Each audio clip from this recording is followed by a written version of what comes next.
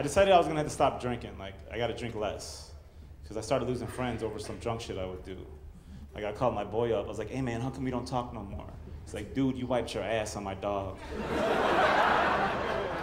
I was like, damn, I thought that was a funny dream. I was getting ready to tell you about it. We're gonna have a laugh. He's like, no. After that, you went upstairs and you drew a dick on my baby's face. Fuck that baby. He's got to learn if you fall asleep at a party, people are gonna fuck with you. Those are rules. Wake him up, get him some Similac shots. It's party time, not nap time, you know? Also, when you get drunk, the last thing you remember doing, that's not the last thing you did.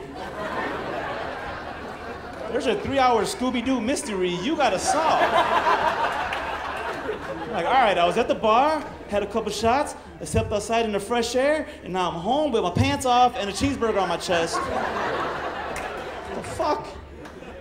There's so many bruises on my leg. Like, what did I do last night? That's why I stick to smoking weed. Weed, that doesn't happen.